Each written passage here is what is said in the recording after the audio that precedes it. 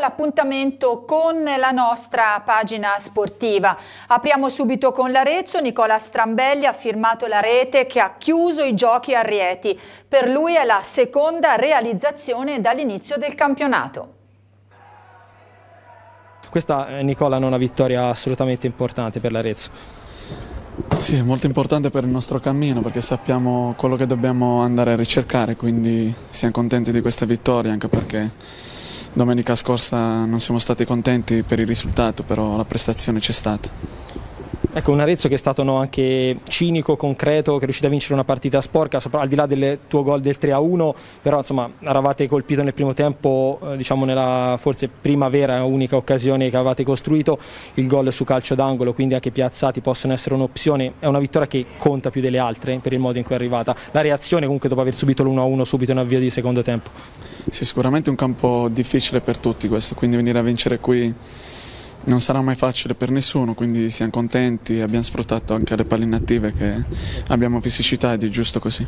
Ecco, ti chiedo anche mh, sulle scelte offensive di Mariotti, eh, oggi è partito Muzzi dal, dal primo minuto, insomma anche davanti no, tu hai dei compagni, no, variano molto, Sparacello, Foggia, poi Cutolo nel finale che dato ti ha fornito l'assist, insomma a livello offensivo un Arezzo che anche oggi ha dimostrato di avere tante carte da giocarsi. Sì, abbiamo, abbiamo, degli attaccanti molto importanti per la categoria che hanno sempre fatto gol e hanno fatto categorie diverse come, come Nello, quindi sappiamo che ne devono scendere due o tre, quindi siamo tutti allo stesso livello e, e poi deciderà il mister eh, chi, chi far giocare la domenica. E per Giuseppe Sicurella un gol che ha avuto il merito di sbloccare la partita allo Scopigno di Rieti, per lui prima realizzazione stagionale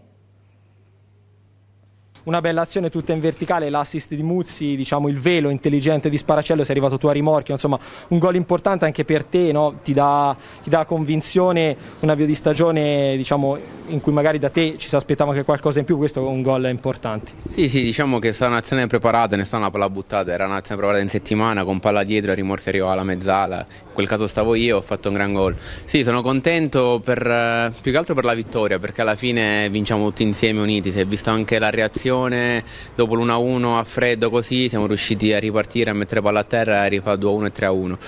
Sì, diciamo che all'inizio comunque cioè, come penso capita a tutti, c'è un periodo di adattamento comunque, non conoscevo nessuno nella squadra, quindi pian piano mi sono inserito in punta di piedi, correndo, allenandomi settimana dopo settimana e pian piano mi sto inserendo nei meccanismi del mister.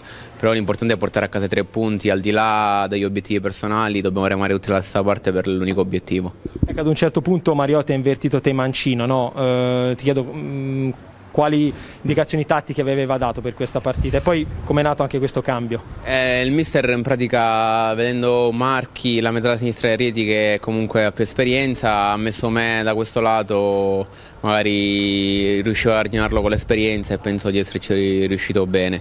Abbiamo portato a casa tre punti e quello che conta è questo, poi ripartiamo da martedì più carichi che mai per la partita col, col Foligno. E adesso parliamo della Serie C, parliamo del Montevarchi, il successo del Montevarchi a spese del Modena rilancia in classifica e nel morale i ragazzi di Malotti. Il tecnico rossoblu si è preso una bella rivincita dopo un mese dove aveva raccolto soltanto un punto. Alzi la mano chi credeva che il Montevarchi battesse il Modena. L'impresa dei ragazzi di Roberto Malotti contro i Canarini porta in primo piano la duttilità di un allenatore che ha preparato la partita contro gli emiliani con grande minuziosità. La linea difensiva, tanto per fare un esempio, è stata ordinata e non si è esposta alle scorribande degli avversari come era accaduto con il Siena fase difensiva e fase difendente. Non è una questione semantica, per dirla la Capuano, ma di sostanza.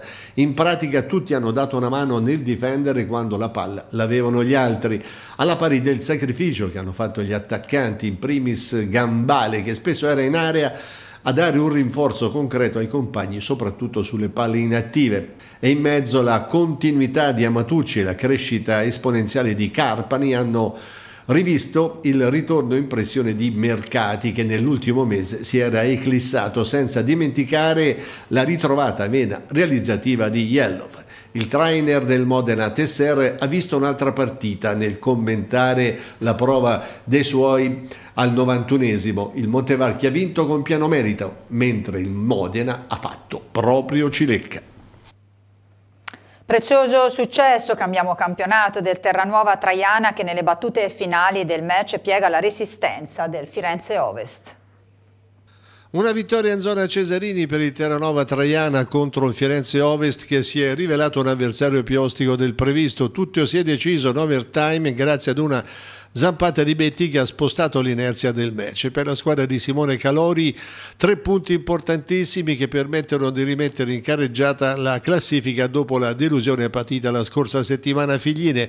E pensate che la squadra locale era partita benino conquistando il campo, costringendo l'Ovest a presidiare la propria area, ma i fiorentini quando hanno potuto sono stati pericolosi, prima con il palo di Arrighi, poi con il vantaggio firmato da Sidi che ha messo dentro dopo una corta risposta spinta di Scarpelli. Gli ospiti a inizio ripresa hanno tentato la sortita, in due occasioni sono stati vicinissimi al raddoppio. Picchioli si è mangiato una grossa opportunità, poi è Scarpelli che ha negato a Verdi una rete praticamente già fatta. A un quarto d'ora dalla fine la svolta, Cioce firma il pareggio dopo un assist prezioso di Sacconi, il pari trasforma i biancorossi che hanno cercato il gol in tutte le maniere, alla fine la rete che vale i tre punti è arrivata nel recupero e ha portato la firma di Betti che ha messo dentro una palla vagante dopo un'azione di Natale. Al triplice fischio la festa è solo di matrice biancorossa.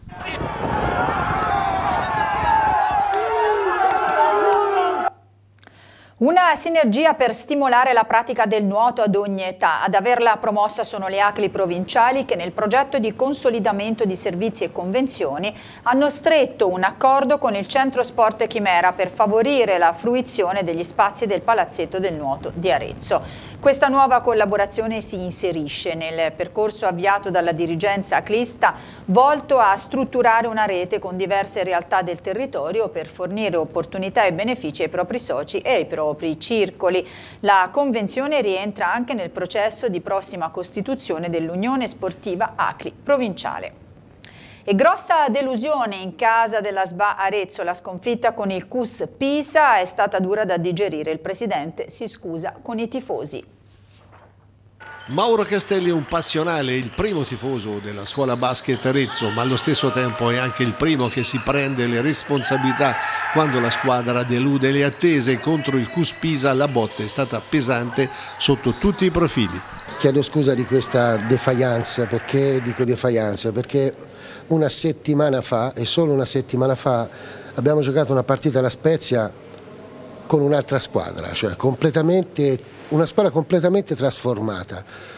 Non so onestamente quali sono le cause, adesso io andrò a chiedere informazioni in merito, se è un problema eh, relativo so, all'altra squadra piuttosto che al fisico, piuttosto che al gioco, non, onestamente non lo so perché eh, per fortuna siamo una società che lancia i giovani e per fortuna oggi in campo c'erano due nostri giovani che ci hanno tenuto a galle e ci hanno evitato di prendere una batosta abbastanza grossa.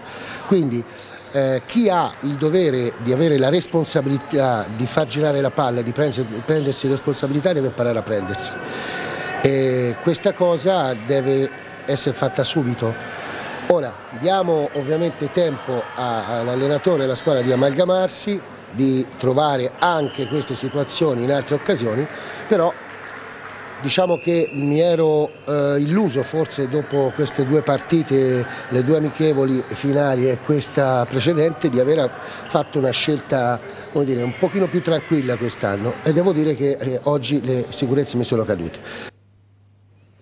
Il basket integrato della scuola basket Arezzo riparte e raggiunge un significativo traguardo. Nel mese di ottobre ha preso il via la decima stagione del percorso di inclusione e integrazione sociale promosso dalla società aretina con l'obiettivo di far vivere la pallacanestro a ragazzi con disabilità fisiche, intellettive e relazionali. Questo progetto è stato inaugurato nel 2011 e dopo lo stop forzato a causa dell'emergenza sanitaria ha ripreso il via sui campi del Palasport Estra Mario D'Agata facendo affidamento sul rinnovato sostegno di IBM Centro Tecnico per tornare a proporre allenamenti congiunti tra atleti con disabilità e atleti delle squadre giovanili del della SBA. Ed è tutto per la nostra pagina sportiva, grazie per essere stati in nostra compagnia e arrivederci.